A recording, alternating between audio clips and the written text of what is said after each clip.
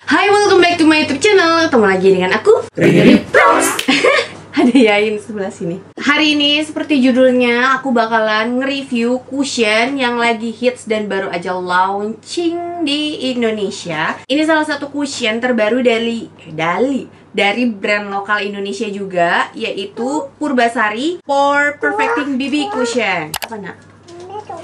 Ya udah ambil. Ini aku udah pakai cushionnya ya by the way dan yang aku pakai itu shade nomor 03 caramel, shade tergelapnya. Kira-kira apakah shade ini beneran pas banget untuk kulit sawo matang atau enggak? Nah, sebelum lanjut aku bahas, boleh dong aku minta likes-nya dulu dan subscribe-nya. Udah. Oke, without further ado, let's get to it. Pertama aku bakalan bahas dari packagingnya dulu. Jadi begitu kita beli, kita bakalan nerima box kayak gini. Kemasannya nih nuansanya hitam dan gold. Terus di bagian depannya udah tertulis nama produknya lengkap dengan klaimnya. Terus di bagian atasnya ada nama shadesnya 03 karamel dan setahu aku untuk saat ini shadesnya itu baru ada 3 dan 03 karamel ini adalah shades tergelapnya. Terus di bagian sampingnya ada ingredientsnya, terus udah berlabel halal, ada nomor BPOM sama expired date-nya dan ini expired date-nya masih 2 tahun lagi. Terus di bagian belakangnya ini ada penjelasan produknya. Aku bacain dulu ya. Purbasari Pore Perfecting BB Cushion, Oil Absorber, dan SPF 18 PA Triple Plus. Nah, produk ini udah jelas di formulasinya di Korea. Ini udah tertulis di kemasannya. Karena memang setahu aku untuk cushion sendiri itu belum bisa diformulasi di Indonesia, belum ada pabriknya gitu loh. Formulanya nih untuk isinya itu baru bisa diformulasiin di Korea. Untuk BB cushion ini katanya multifungsi, dapat membantu mengurangi sebum, menyamarkan pori-pori, melindungi kulit dari efek buruk sinar matahari karena udah ada SPF-nya 18. Terus kulit juga bakalan tampak lebih elastis, halus, lembab dan bercahaya. Untuk cushion ini udah jelas bahwa ini tuh BB cushion di mana bukan foundation yang berarti ini bisa banget dipakai sehari-hari. Formulanya lebih ringan dibandingkan foundation. Nah, apakah ini full coverage apa enggak? Terus finishingnya kayak gimana sih? Aku bakalan jabarin dengan lebih detail sambil kasih lihat dengan lebih jelas juga pengaplikasiannya di muka aku langsung.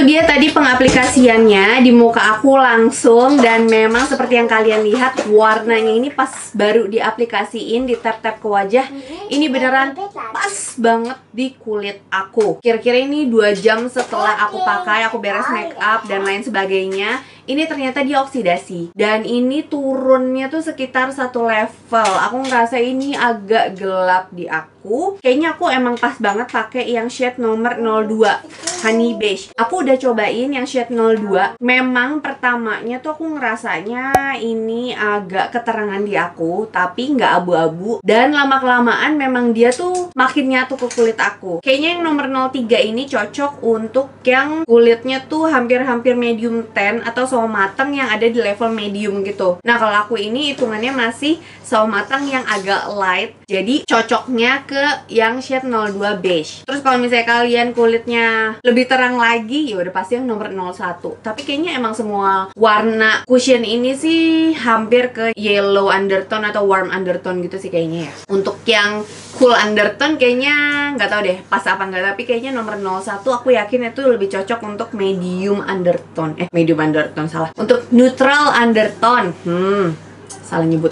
Sekarang aku bakalan kasih quick review untuk klaim-klaimnya apakah sesuai nih sama klaim produknya. Ini dibilang bisa membantu mengurangi sebum. Aku kurang tahu juga karena ini baru aku pakai kedua kalinya. Yang pertama tuh yang shade nomor 02, yang ini shade nomor 03. Tapi so far aku nggak perjing, nggak geradakan, nggak beruntusan terus juga nggak bikin kulitku makin kering. Terus untuk BB cushion ini katanya bisa nyamarin pori-pori, menurutku iya dan ini aku nggak pakai primer sama sekali. Tapi di kamera lumayan oke okay kelihatannya ya kayak mulus banget gitu. Dan emang ini mulus banget sih. Terus dalam waktu 2 jam dia belum ada nge-crack sama sekali. Under eye aku masih ya gitu-gitu aja. Sama kayak pertama kali baru dipakai tadi. Terus smiling line aku masih belum kelihatan masih aman. Perlu diketahui bahwa kondisi kulitku itu kering yang di mana bakalan gampang nge-crack. Tapi T-zone-nya aku lumayan berminyak sih. Terus dibilang ini lembab bercahaya aku ngerasanya nggak kering tapi juga nggak lembab. Tapi kalau dibandingin sama cushionnya makeover ini lebih matte finish ketimbang si makeover.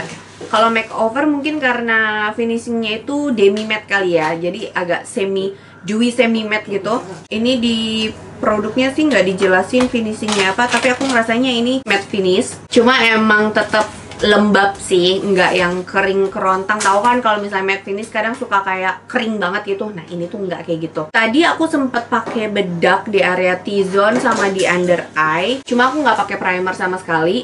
Nah, sekarang kita bakalan cek beberapa jam ke depan kira-kira ketahanannya kayak gitu. Tonton terus sampai habis ya.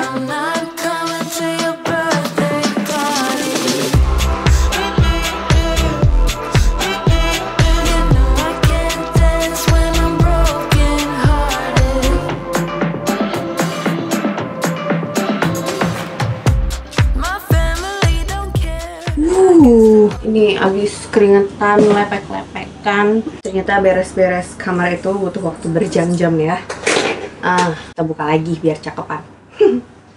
Sekarang aku bakal bahas soal ketahanannya Dan aku ngerasanya ini T-zone aku udah lumayan agak berminyak Tapi aku ngerasanya makin berminyak kayak makin bagus gitu Coba aku cek ini smiling line yang sebelah sini mulai kelihatan tapi nggak yang nge-crack parah gitu nggak. Terus under eye juga udah mulai agak nge-crack dikit doang bedanya sama yang tadi.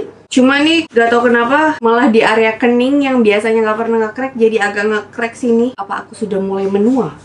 Sekarang kita bakalan tes ketahanannya pakai blotting papernya seperti biasa clean and clear. Ini clean and clear ini kayak aku pakai cuma buat ngetes foundation doang gitu. Kita pakai yang warna pink.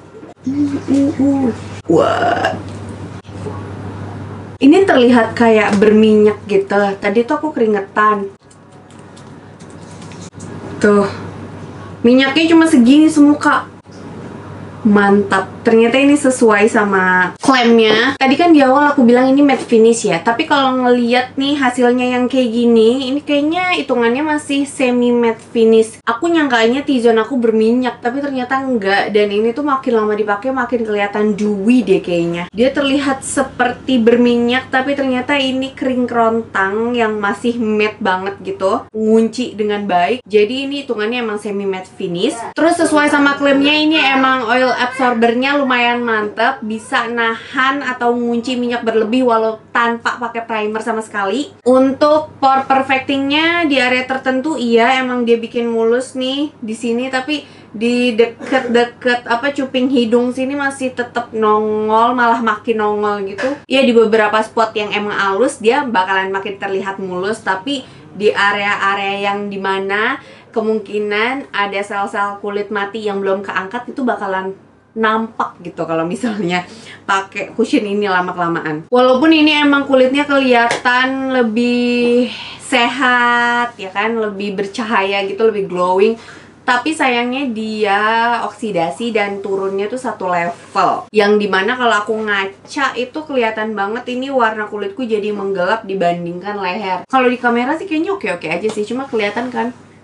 Nih, tuh beda kan warnanya tapi untuk keseluruhan ini kece pol kalau dibandingin sama makeover sekarang aku sadar banget. Kayaknya emang cushion ini lebih mantap tadi aku sempat pakai kacamata ini nggak ninggalin jejak nggak yang ngegeser gitu loh. Emang bekas kacamatanya tuh masih cedok gitu tapi cushionnya tuh nggak ngegeser. Kayaknya ini cocok banget untuk semua jenis kulit sih, mau kering, mau kombinasi, mau berminyak, ini aman banget dipakainya. Oh ya, kekurangannya itu menurutku ini ada di coveragenya. Nggak bisa nutup dark spot. Dark spot aku masih kelihatan. Bekas jerawat juga nih malah jadi nongol gitu. Kayaknya tetap harus di color correcting kalau untuk dark spot sama bekas jerawat. Dan untuk under eye juga kayaknya sebelumnya harus di color correct terlebih dahulu. Biar dosa-dosa di wajah tuh ketutup dengan sempurna. Tapi untuk kisaran harga cushion 120.000 menurutku ini worth the price. Karena untuk formula dan warna ini bagus banget di kulit soal matang. Dan formulanya tuh yang enggak asal buru-buru launching gitu loh bener-bener dipikirin gitu kayaknya. Dan memang sesuai sama klaimnya. Dan kalau misalnya ditanya di antara cushion-cushion lokal yang pernah ada mana yang paling bagus menurutku? Yang pertama ini yang kedua makeover. Ini formulanya bagus banget. Kalau makeover tuh bagus tapi dia masih ngegeser. Tapi kalau misalnya Purbasari ini mantep banget sih. Sekarang aku tahu kenapa banyak banget orang-orang yang punya warna kulit asli Indonesia ngejadiin cushionnya Purbasari ini number one cushion buat kulit sawo matang. Memang ternyata ini bagus banget. Gimana? tertarik buat nyobain? Atau jangan-jangan di antara kalian juga udah ada yang nyobain duluan? Pasti udah ada sih aku yakin. Nah kalau misalnya udah nyobain coba dong share review kalian juga di kolom komen di bawah because sharing is caring. Sekian video kali ini. Semoga kalian suka dan semoga videonya berguna. Jangan lupa untuk tinggalin jejak dengan klik likes dan subscribe channel youtube aku. Terus jangan lupa juga untuk aktifin bel notifikasi kalian supaya kalian jadi jangan squad aku yang pertama tahu kalau misalnya ada video baru yang diupload di channel YouTube ini. Once again, thank you guys for watching and also next time. Bye!